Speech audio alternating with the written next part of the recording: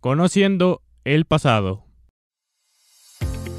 En Conociendo el pasado buscamos rescatar la historia de Oaxaca para su preservación, en donde se conocerán datos del ferrocarril de los cuales no todas las personas tienen el conocimiento.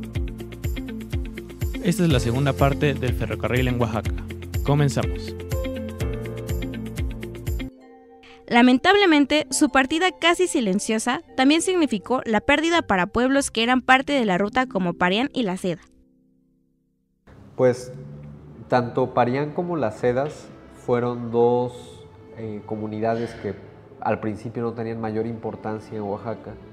Sin embargo, a, raíz de la llegada del ferrocarril y de esta conectividad que mencioné antes en el, resto del estado, tuvieron una bonanza económica increíble que les permitió convertirse en centros comerciales de importancia. En Parián existieron bancos, tiendas de conveniencia, eran, eran lugares muy concurridos. Las sedas fue un, importantísimo productor justamente de seda.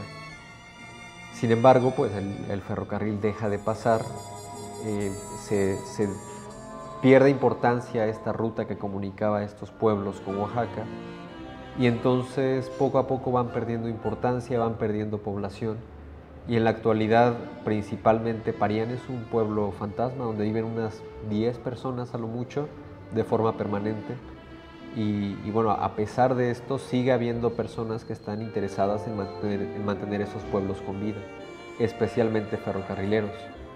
Algo más que comparten Parián y las Sedas, además de haber perdido mucha importancia después de que se fue el ferrocarril, es que antiguos jefes de estación de, sus, de su ferrocarril se encargaron de rescatar las estaciones de estas comunidades y traerlas hasta nuestros días como espacios que funcionan. Entonces en Parián, el, quien rescató la antigua estación del ferrocarril fue el maestro Miguel Ángel Ortega Mata, jefe de estación, y en, este, y en el caso de San Sebastián Las Hedas, la estación fue rescatada por el autor de este libro que, les, que hemos estado revisando, que se llama Eleazar Cordero.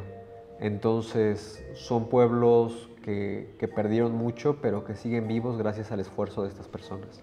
Conociendo el pasado. A pesar de ya no estar en funcionamiento todavía, hay personas que recuerdan el ferrocarril como el señor Alejandro Carvajal, quien nos comparte una anécdota que él considera inolvidable. ¿Qué tal? Muy buenas noches. Este, quiero contar este, así rápidamente eh, mi anécdota, eh, vivencias en, aquella época. Estoy hablando más o menos de hace 31 años. Eh, pues tuve la, la, oportunidad de viajar en el ferrocarril de la comunidad de San Juan Bautista Cuicatlán a la ciudad de Oaxaca.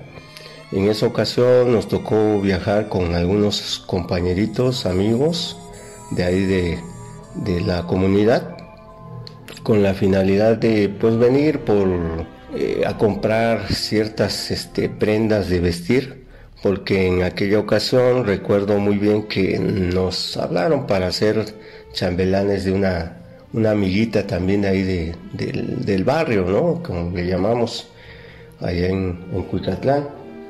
Y por tal motivo fue que, viajamos de, San Juan Bautista a Oaxaca.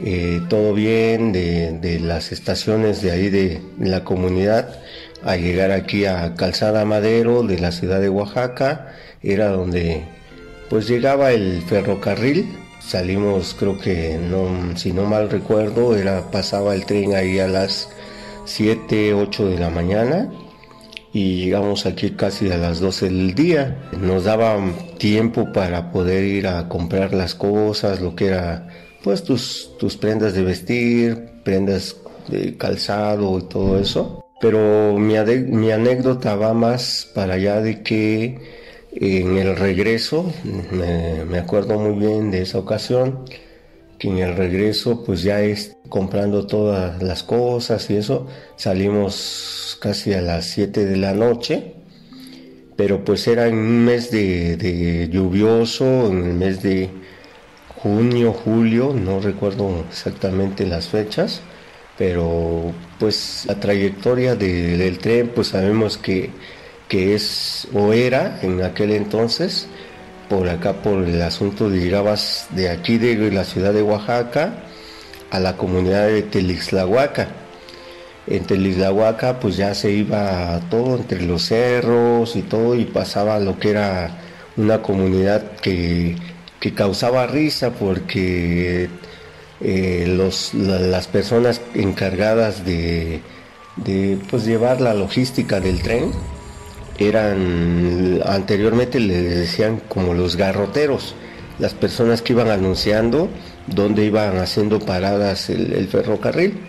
Y entonces decían, señoras que bajan en las sedas, señoras que bajan en las sedas. entonces se como que se malentendía porque decían señoras acedas, ¿no? O sea, y entonces causaba risa y ahí era un, un gran cotorreo, ¿no? Porque pues la trayectoria nada más de aquí de Ciudad de Oaxaca a Cuicatlán, eh, salíamos a las 7 de la noche y íbamos llegando casi a las a la medianoche, como entre 11, 11 y media o 12 de la noche. Y en aquel entonces, eh, retomando la anécdota, nos tocó este pues un, este deslave, un este asunto que le decíamos se, se salió de la vía el tren, como decían anteriormente las personas, se descarriló el tren.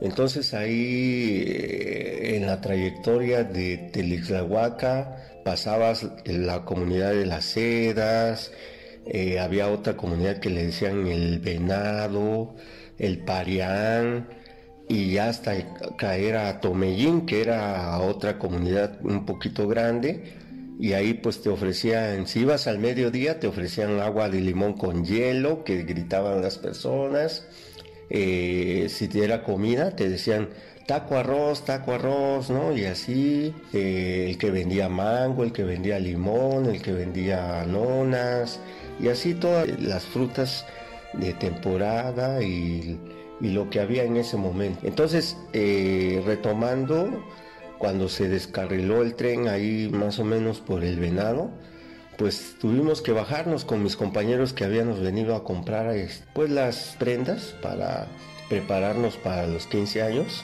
de esta amiguita y pues así como tal, nos dijeron, no, va a tardar mucho la grúa para que regrese desde Tomellín, que era un tramo un poco más, más largo, va a tardar para que llegue y las grúas a levantar y volver a, acomodar, digamos, ese vagón que se descarriló, que se salió. Y entonces pues decidimos con los compañeros caminar. Así como iba la vía, nos fuimos caminando más o menos eh, eh, con unas ocho horas, nueve horas caminando así, bajando entre los cerros, alumbrándonos ahí con un ocote, eh, no había antes celulares para prender o nada de eso.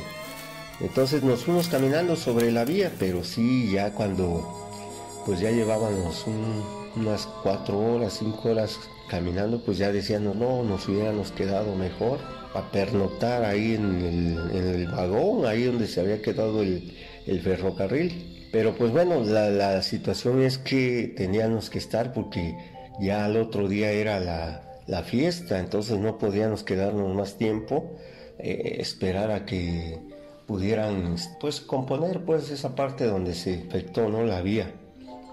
Eh, de ahí pues ya fuimos llegando a la comunidad de Tomeguín, como eso de las 5 de la mañana, eh, ya bien cansados y todo, luego de ahí a llegar a la comunidad de San Pedrito, Chicos Zapotes, llegamos a la comunidad de San Juan Bautista Cuicatlán como a las 8 o 9 de la mañana, con mucha sed, mucha, mucha hambre y todo, pero a las 6, 7 de la noche ya era el, el evento de los 15 años ya se imaginarán cómo terminamos, ¿verdad?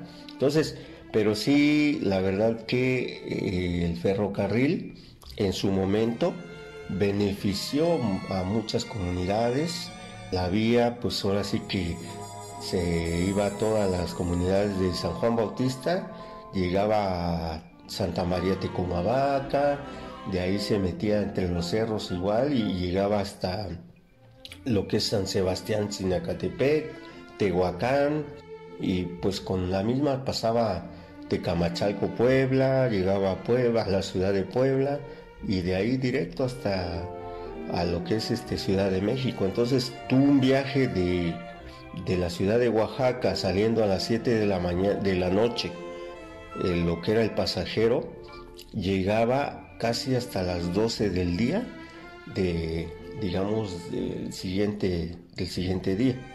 ¿sí? Entonces sí se imaginarán qué tiempo se hacía, pero era un, un, gran, pues un gran beneficio para todas esas comunidades que están ocultas entre las montañas, entre los que es las, las serranías, lo que es las, este, los ríos y todo eso, ¿no? Y la verdad que sería bastante espléndido y fenomenal de que regresara el ferrocarril a, a, a lo que es nuestro país, ¿no? Para que pudiera viajar la gente. Hoy en día, el mío fue como espacio de recreación y preservación de la memoria del ferrocarril, rescatando la importancia que tuvo para Oaxaca. De las actividades que realiza el Museo Infantil para la preservación del patrimonio ferroviario en el estado de Oaxaca, podemos dividir estos en tres diferentes categorías. El primero son las acciones de difusión a público, el, la segunda son las acciones que se toman para la conservación del patrimonio material y las terceras, las referentes a la preservación del patrimonio inmaterial. Finalmente, para despedirnos, el director nos regaló un último mensaje para los ferrocarrileros, quienes ahora ya retirados de la labor, siguen siendo invitados para desarrollar diversas actividades que el museo organiza. Lo que nosotros tenemos que decirle o lo que yo quisiera eh, agradecerle a los ferrocarrileros que construyeron todo este sistema del ferrocarril mexicano del sur y de todas las demás redes que tuvimos en México, es pues nuestra, compartirles nuestra gratitud por este país que nos legaron, por esta prosperidad que conocimos, por toda esta forma de, de entender el territorio que no hubiera sido posible sin su trabajo. México, a pesar de haber perdido sus ferrocarriles, será siempre un país ferroviario por el esfuerzo de todas estas personas que a lo largo de los años hicieron de este medio de transporte un ícono para la identidad mexicana. Conociendo el pasado. Escuchaste Conociendo el pasado, con la producción de Cristian Alvarado. En cabina estuvo Samantha Vázquez, con las voces de Fernando Ambrosio y Julia Berenice, y la participación de Daniela Arturo Saavedra y Alejandro Carvajal.